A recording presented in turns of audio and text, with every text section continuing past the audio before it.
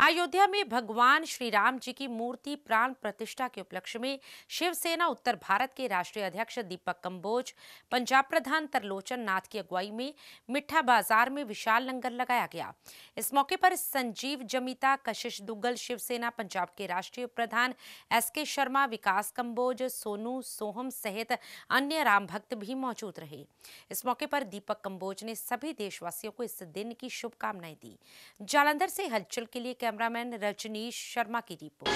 ਅੱਜ ਪੂਰੇ ਜਲੰਧਰ ਸ਼ਹਿਰ ਵਾਸੀਆਂ ਨੂੰ ਸ਼੍ਰੀ ਰਾਮ ਜੀ ਦੇ ਪ੍ਰਗਟੋਤਸਵ ਤੇ ਮੇਰੇ ਵੱਲੋਂ ਤੇ ਮੇਰੀ ਪਾਰਟੀ ਸਿੱਖ ਸੈਨਾ ਪੰਜਾਬ ਵੱਲੋਂ ਬਹੁਤ ਬਹੁਤ ਵਧਾਈਆਂ।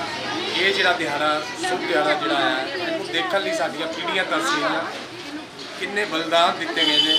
ਉਹਦੇ ਬਾਅਦ ਜਾ ਕੇ 498 ਸਾਲਾਂ ਦੇ ਬਾਅਦ ਸ਼੍ਰੀ ਰਾਮ ਜੀ ਆਪਣੇ ਗਰਭ ਦੇ ਵਿੱਚ ਆ ਕੇ ਦੁਬਾਰਾ ਵਿਰਾਜਮਾਨ ਹੋਏ ਨੇ।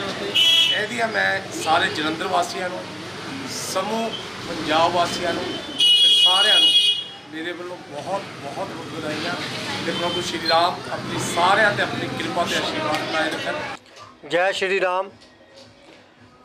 ਸਾਰੇ ਦੇਸ਼ ਵਾਸੀਆਂ ਨੂੰ ਅੱਜ ਰਾਮ ਜੀ ਦੇ ਮੰਦਿਰ ਦੇ ਬਣਨ ਦੀ ਖੁਸ਼ੀ ਦੇ ਵਿੱਚ ਬਹੁਤ ਬਹੁਤ ਮੁਬਾਰਕਾਂ।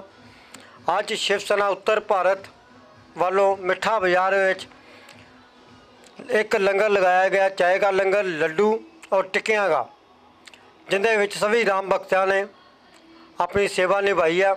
ਮੇਰੇ ਨਾਲ ਤਰਲੋਚਨ ਨਾਥ ਜੀ, ਸੰਜੀਵ ਜਗੋਤਾ ਜੀ, ਕਸ਼ਿਸ਼, ਵਿਕਾਸ ਕੰਬੋਜ, ਹੋਰ ਕਈ ਸ਼ਿਵ ਸੈਨਿਕ ਨਾਲ ਸ਼ਾਮਿਲ ਸੀ।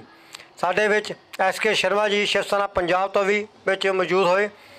ਆ ਅੱਜ ਇਦਾਂ ਦੀ ਖੁਸ਼ੀ ਆ, ਸਾਡੇ ਵਾਸਤੇ ਤਾਂ ਹਿੰਦੂਆਂ ਵਾਸਤੇ ਦੂਜੀ ਦੀਵਾਲੀ ਆਈ ਆ।